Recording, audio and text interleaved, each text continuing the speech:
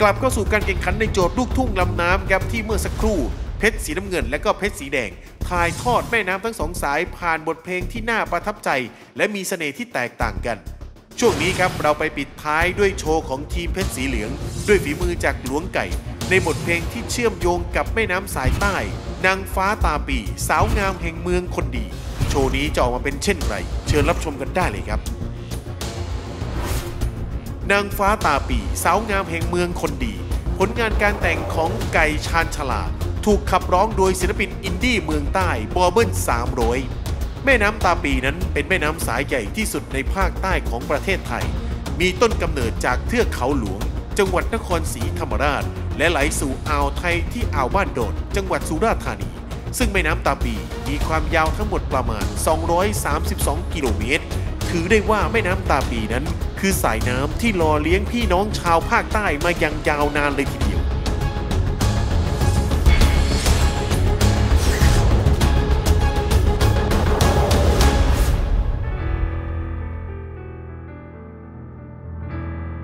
ว่าอ้อ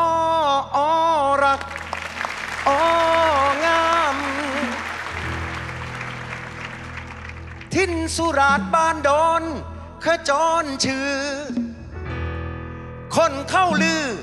เงาะร้อยแถมห้อยใหญ่แหล่งท่องเที่ยวมีมา ระบือไกล เมืองคนดีมีน้ำใจ สุราษฎร์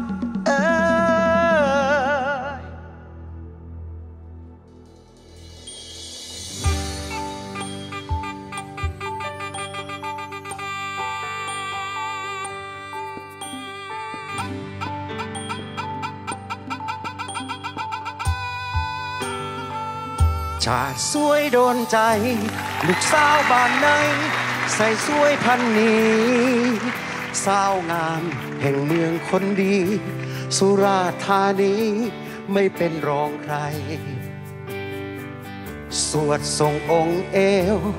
ยกให้น้องเป็นช้างเพือกแดนตาย เจอเธอที่ลาดเปิดทาย เล่นเอาใจชาย เต้น ดังตูมตาม บ้านโยในนอง อยู่บ้านซอกหรือคลองชะนวนปากาหน้าควร พระแสงเขียนสา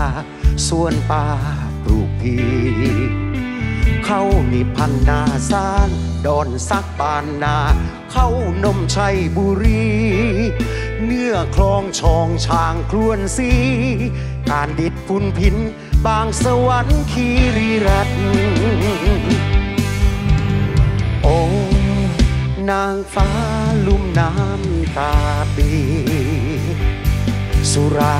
ธานี แดนนี้มักมีมนต์พลัง ร้อยเกาะเงาะร้อยหอยใหญ่ไข่แดงชื่อดัง หากใคร ได้เยือนเพียงครั้ง ให้คิดถึงจัง สุราธานี สมุยเกาะหันท่าช้างชัยยา ตาคุณพุ่มเรียง ขอฝากเป็นเสียง เพลงนี้แทนใจส่งไปให้น้อง ลืมเธอไม่ได้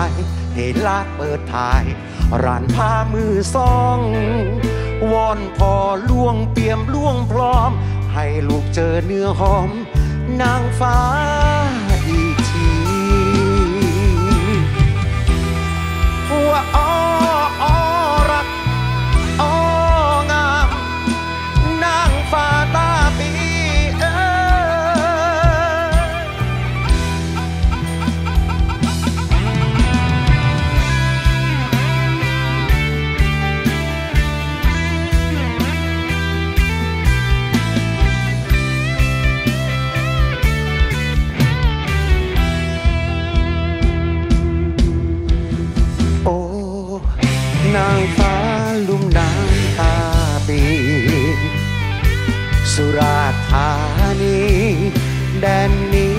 ักมีมนขัง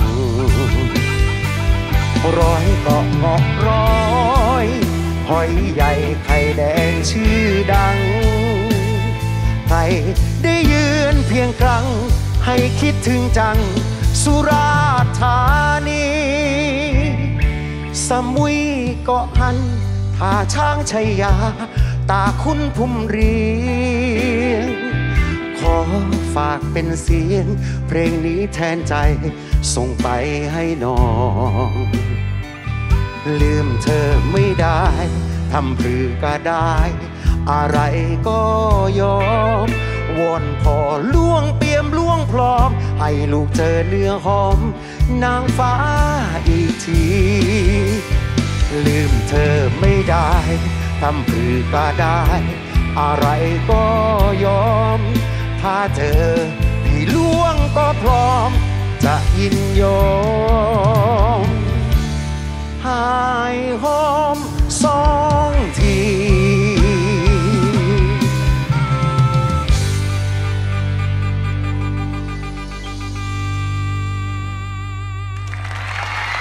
เฮ้ยเฮ้ยเอ๊ะเสียงปรบมือด้วยนะครับ มาทำไมเนี่ย นะฮะก็ยังไม่ได้หอมเลย เอาเลยฮะงั้นเข้าไปก่อนนะฮะเออได้ได้ได้อ่าทำไมต้องไปตรงนั้นนะพานเอ้ยหลายเกลือแล้วนะหลายเกลือแล้วนะเดี๋ยวเดี๋ยวเดี๋ยวแล้วครับคนที่ขอนแก่นนะเลิกแล้วฮะเลิกกับคนที่ขอนแก่นแล้ว เลิกไปชั่วครู่ชั่วคราวครับเพลงนี้มันพูดถึงเรื่องราวของอำเภอต่างๆ แล้วก็ไปหลายจังหวัดเหมือนกันใช่ไหมพี่อำเภอที่ว่าแม่น้ำตาปีโอ้จะจะจะไหลผ่านใช่ไหมลผ่านครับอะมีท่อนโนราตอนต้นอันนี้พี่หลวงไก่ก็ แต่งครับเองใช่ไหมฮะครับอืมดีเลยครับเห็นบอกทีมงานเราว่าไม่ขอไดไอซ์เลย เพราะว่าแพ้เหรอพี่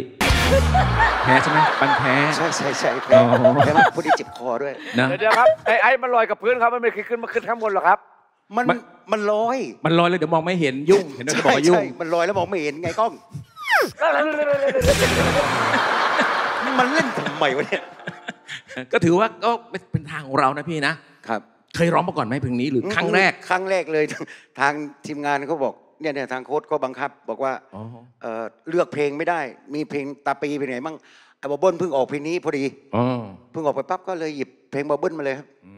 อ่านางฟ้าตาปี ครับผเพิ่มงออกไปประมาณไม่ถึงเดือนไม่นะนานเหรอเพลงยังใหม่อยู่ไม่ไม่เพลงยังใหม่อยู่ใช่ครับอืมครับผมอนนท์ฮะ โชว์นี้จากพี่หลวงไก่ครับ คือกำลังจะบอกงี้ว่า ถ้าถ้าผมฟังผมดูว่า ถ้าเป็นการแข่งขันนะ ถ้าเปรียบกับปุย แล้วเปรียบกับต้นตาลนะ มันไม่แปลกอะหนุ่มใต้ที่ดังจากเพลงใต้แล้วมาร้องเพลงใต้ ถ้าเขาเป็นคนใต้แล้วเขาร้องเพลงใต้ไม่ดีนี่สิหน้าสาบแช่งหน้าเอาน้ำสาดผ่านหน้าบ้านหน้าปล่อยหมากัดประมาณนั้นเลยครับถามว่ามันเพราะไหมอืมแต่ถ้าการแข่งขันทั้งสามสี่ผมว่า ธรรมดานะ แต่หลวงไก่เก่ง แค่เนี้ยจบอืมครับผม เป็นไงฮะ เข้าใจไหมฮะ งงฮะลุงใต้ร้องเพลงใต้สำเนียงใต้ มันเป็นท่าถนัดไง แต่จริงๆอะโนนยากครับ แนวแนวบอบเบิ้ลนี่ยากมาก อะ งั้นผมเปลี่ยนคำพูด มันเป็นเพลงที่ยากมากแต่หลวงไก่ก็ร้องได้ดีโอ้ครับเก่งครับผมขอบคุณครับเขาเขาต้องการอะไรจากผม แม่สุจ้ะพี่หลวงไก่นี่เนาะเขาเก่งแล้วก็เสียงเสียงมีเสน่ห์มาก ๆ แต่ว่าโดยทางเพลงเพลงเนี่ยมันเหมือนกับว่ามันมันเหมือนจะไป แต่สุดท้ายมันก็ลงมาที่ลุ่ม มันเหมือนจะไป แล้วก็ลงมาที่ลุ่ม ทีนี้พอมันลงมาที่ลุ่มเสียงพื้นๆเมื่อไหร่อะมันมีไอ้มันรู้สึกว่ามันมันมันต่ำมันงึมงำแต่รวมๆแล้วก็ศิลปินอะที่เขาทำอะไรยังไงมันก็ยังคงความมีเสน่ห์น่าหลงไหลเหมือนเดิมค่ะ ครับผมครูครับ คือทุกครั้งที่พี่หลวงมาเราจะเห็นลายเซ็นของรุ่นใหญ่ เป็นรุ่นใหญ่ แล้วก็พิเศษสำหรับพี่หลวงไก่ก็คือ เป็นรุ่นใหญ่ที่ร้องเพลงรุ่นรุ่นถัดมาได้ดี รุ่นน้องได้ดี เลยดูหนุ่มในวิธีการร้อง และก็ในวิธีการสื่อสารทั้งหมด เพลงนี้ก็เช่นเดียวกันผมว่ามันเป็นลายเซ็นพี่หลวงดี ร้องแล้วก็มันมีเสน่ห์ในวิธีการสื่อสาร เราเห็นตรงนั้นหมดเลยนะครับ และยิ่งร้องยิ่งเพราะ ส่วนจุดอ่อน ผมมองว่าน่าจะมาจากวิธีคิดพี่หลวงเอง ถ้าฟังจากการบอกเล่านะ ถ้าบอกว่ามันยากมันก็ยาก จริงๆพี่หลวงบอกว่ามันไม่ยากก็ได้ไงเพราะเราร้องได้ดีแล้ว นี่คือข้อแรกเลย ที่มันดูทำให้คนดูซึ่งกำลังจะคล้อยตามน้ำเสียงที่พี่หลวงเล่า แต่เรากับพะวงแทนว่าเอ๊ะพี่หลวงกังวลเรื่องอะไรนะทำไมดูไม่มั่นใจ นี่คือข้อแรก ข้อที่สองผมว่า ประมาณสองท่อนแรกมันมีอาการคุมเสียงไม่ได้ ในแง่ของการคอนโทรลเสียง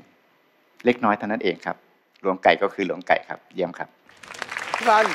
พี่พันธุ์เพื่อนบอกว่าเวลาพี่หลวงไม่พูดแล้วน่าสงสารผมก็เออผมก็เลยจ้องดูเออเหมือนฟิลแบบแม่มาทิ้งที่โรงเรียนอะไรอย่างเงี้ยจริงๆแกเวลาไม่พูดแกเวลาพูดแกก็ยิ้มแต่เวลาไม่พูดแกแบบไม่เอาไม่แซวพี่เขาไอ้เปิหลายดเทือนแล้วครับผม พี่ลำยองครับ คือพี่หลวงไก่ก็คือเป็นคนที่เสียงเป็นเอกลักษณ์อยู่แล้ว แล้วคือพอพี่ร้องขึ้นมา เออ นี่แหละ พี่หลวงไก่ แล้วเป็นศิลปินที่โด่งดังมานาน แล้วลำยองก็ฟังเพลงแล้วก็ชื่นชอบพี่มา ตั้งแต่ตอนตอนเด็กๆนะ ตอนเป็นสาวใหม่ๆก็คือพี่หลวงไก่ก็จะเป็นศิลปินในดวงใจเลยคนหนึ่งแล้ววันนี้ได้มาฟังเพลงพี่ร้อง คือถึงพี่จะร้องเพลงคนอื่น แต่คือความเป็นหลวงไก่ก็ยังเหลืออยู่ หนู หนูไม่รู้เลยว่าพี่ร้องผิดร้องถูกอะไรแต่หนูชื่นชอบเสียงพี่คือ ฟังแล้วรู้สึกว่า เออ นี่แหละ คือหลวงไก่ของแท้ของจริงเลย พี่หนูชอบพี่มากนะคะ ขอบคุณครับ ครับผมพพี่ตั๊กครับ สีเหลืองครับเชิญครับ อยากจะบอกพี่ไก่ว่ารักรักพี่มากเลย รักรักนี่จริงๆนะไม่ได้โกหกไม่ได้เฟกไม่ได้รักมากเลย จริง ๆ ถ้าทั้งโลกนี้นะ ไม่เหลือผู้ชายแล้วนะ แล้วเหลือพี่คนเดียวเนี่ยนะหนูก็เอา รักพี่ก็มันไม่เหลือแล้วอะไม่เหลือแล้วไงไม่เหลือแล้วก็ต้องเอาอะเออเป็นคนที่แบบว่ามีเสน่ห์เวลาร้องเพลงอะโคตรมีเสน่ห์เลยแล้วพี่รู้ตัวไหมว่าพี่อะเกิดมาเพื่อเป็นตำนานจริงๆนะในเวลาพี่ไก่ร้องเพลงอะตั๊กจะนั่งชื่นชมและภูมิใจในตัวพี่ไก่มากๆเลย ภูมิใจที่ครั้งหนึ่งแบบว่าเออเราได้มาแบบมีพี่ชายที่น่ารักแบบเนี้ยแล้วก็เก่งมากๆ เป็นตัวอย่างให้กับน้องๆอย่างเงี้ย ภูมิใจในตัวพี่มากๆเลยครับ วันนี้พี่ทำได้ดีมากเลยนะพี่ สภาพเหมือนจะเหมือนหินใต้หินยายแต่หนูก็ชอบ ครับผมพี่เอกราชพี่เอกราช คือร้องไก่เป็นเป็นนักร้องที่มีคุณภาพภาคใต้คนหนึ่งกันแล้วกันนะครับ เพราะว่าเวลาเขาเอ่ยเสียงร้องคือเสียงเขามีมนต์นะมนต์นมะครับสดมนต์นมสดโอ้ไม่ใช่ มนต์สะกดนะครับ แล้วก็เป็นน้ำเสียงของตัวเองสุดยอดมากเลยน้องชายเล่นมุกแล้วก็มันเพลงนี้มันเป็นเพลงเล่าเรื่องนะ เป็นเพลงแบบ ตำบลอำเภอจังหวัดมันเป็นเล่าเรื่อง เราจะเล่าแบบไหนให้มันเพราะเท่านั้นเองครับโอเคสุดยอดสุดยอดครับผมอะครบถ้วนฮะอัดแน่นไปด้วยความสวยงามของวัฒนธรรมภาคใต้จริงๆนะครับบวกกับเสียงร้องที่ทรงพลังตลอดการของพี่หลวงไก่ ก็ทำให้โชว์นี้ออกมาดีแบบไร้ที่ติจริง ๆ